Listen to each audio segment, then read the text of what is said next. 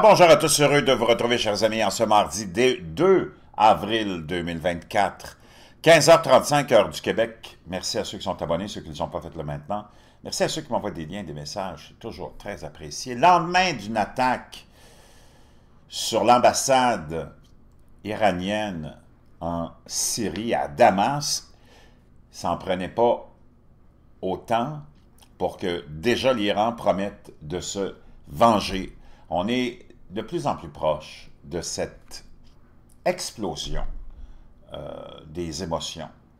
On est dans un contexte de... On est dans la Troisième Guerre mondiale, c'est juste qu'elle n'est pas... pas traditionnelle, c'est une guerre mondiale euh, qui se fait par guerre de procuration, par cyberattaque, par propagande, par menace, par toutes sortes de mouvements géopolitiques aussi. L'Iran promet de se venger en accusant Israël d'avoir mené une frappe aérienne meurtrière contre le consulat syrien, aggravant ainsi la crise au Moyen-Orient. L'Iran s'est engagé à riposter après avoir accusé Israël d'avoir bombardé lundi le complexe de son ambassade en Syrie dans une escalade meurtrière des tensions régionales liées à la guerre à Gaza qui semble une fois de plus augmenter le risque d'un conflit plus large au Moyen-Orient. Ça fait 75 ans depuis la création d'Israël qu'on est dans cette situation-là. Et c'est, ça vient toujours par vague. Des fois, c'est par euh, vague de deux ans, cinq ans, six ans d'accalmie, deux ans, trois ans, mais le problème n'est jamais résolu.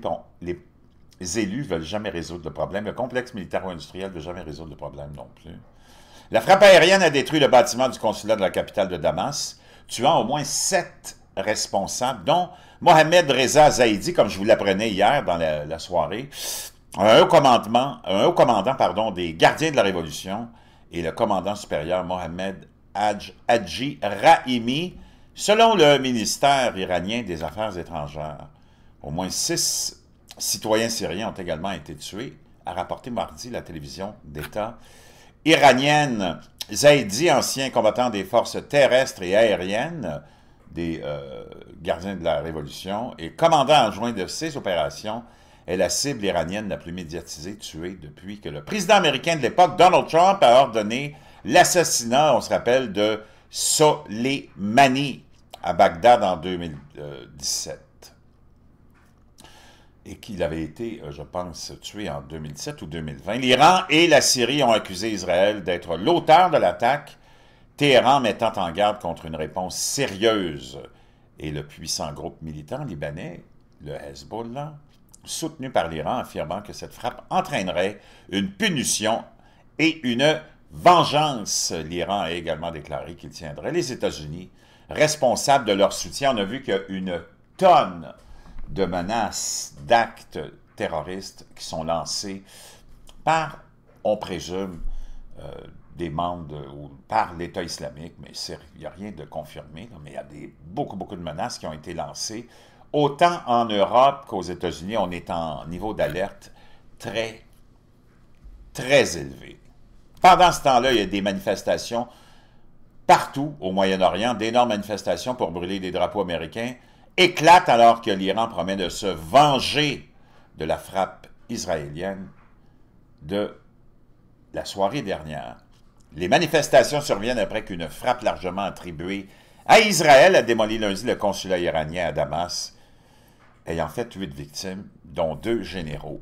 D'énormes manifestations pour brûler des drapeaux américains ont éclaté à travers le Moyen-Orient. Ça rappelle l'époque de la guerre du Golfe. Alors que les manifestants iraniens se rassemblent pour condamner la frappe aérienne israélienne contre le consulat iranien. Donc, beaucoup, beaucoup, beaucoup de tensions. On n'est pas sorti de l'auberge, on a vu ce qui est arrivé à la salle Crocus au, à, à Moscou, cette attaque dans une salle de concert. La CIA est impliquée là-dedans, probablement, c'est ce qu'on laisse présager chez les gens qui font beaucoup d'enquêtes et qui sont au courant de beaucoup de choses, comme le général à la retraite, euh, monsieur, le général McGregor, que vous connaissez peut-être sûrement, Scott Ritter aussi, euh, souvent, qui font des interventions souvent sur la chaîne du judge Andrew Napolitano, entre autres, et qui explique très bien les ramifications, parce que dans les médias traditionnels, c'est juste la bullshit et de la propagande. Il n'était pas clair si l'Iran réagirait elle-même à la frappe, risquant une confrontation dangereuse avec Israël et son allié, les États-Unis. Tout le monde a peur d'aller directement en conflit euh, armé. Hein, on le sait parce que on ne sait pas comment ça va se terminer.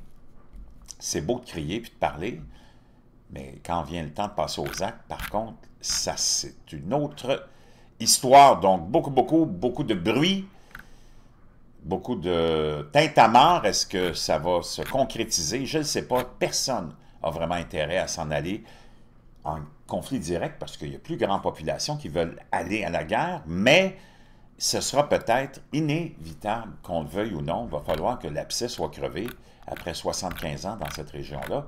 Et ailleurs aussi, les populations se révoltent. Et on le sait, maintenant, tu as beaucoup de cette guerre qui est transformée aussi, qui est transformée euh, en guerre euh, géopolitique.